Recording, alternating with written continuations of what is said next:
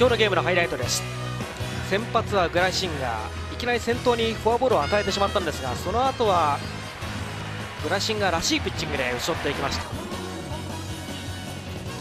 一方ライオン先発は涌井です。立ち上がり涌井もフォアボール2つでノーアウト二塁一塁。バッター井口。右方向へのうまいバッティング。千葉さんこれうまかったですね。しっかりとね反対方向を打ちましたよね、1点をマリーンズ先制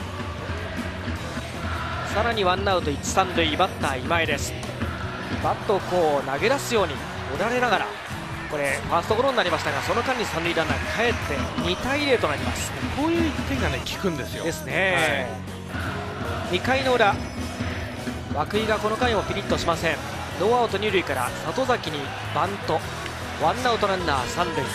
ここで渡辺監督はスパッと交代をさせたんですね。ここはね本当こう早めに行きましたね、えー、まあ、2番手小石がただ制球難もあってツーアウト二塁三塁から暴投で3対0とされます。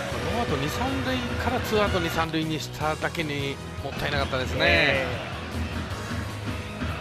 ー、さらに3回裏には岡本洋介がマウンド。ツーアウト二塁一塁から里崎。右横へセンター前タイムリーヒットで4対0とリードを広げます。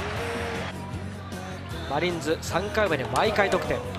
一方でグライシンガをなかなか打てないという埼玉西武。本当にグラシンが今日良かったですね、はい、ここっていうところには本当低めであったりキレのあるボールがいってましたね、えー、4回もしっかりとゼロに抑えます。6回はランナー二塁一塁と。そして浅村三振その後ただもう1回デッドボールがあって満塁までしてしまったんです。ただバッター大崎迎えてこれ3球三振ですよ、はい、そのまでね1デッドボール2フォアボールでね、はい、それを3球で終わらせてましたからね、はい、2デッドボール1フォアボールね、はい、えー、7回の表ライオンズ。三沢を、えー、上野が抑えます。そして鬼崎。上野がこの7回に4対0で起用されてというね、えー、これもいつもとはまたちょっと違った起用で上野がでもそれに応えました。岡本洋介はロングリリーフになっていました。ただ岡本はしっかりと抑えてましたね。はい。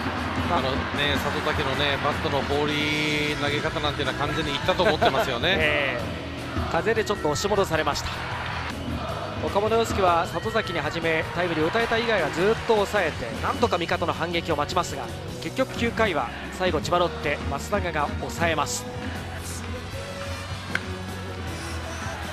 三沢をセカンドゴロに打ち取ってゲームセット。4対0で千葉ロッテマリーンズが埼玉西武との初戦を制しました。グライシンガーは省エネピッチングで82球。次の中4日楽天戦に備えます。今シーズン4勝目をマークしました。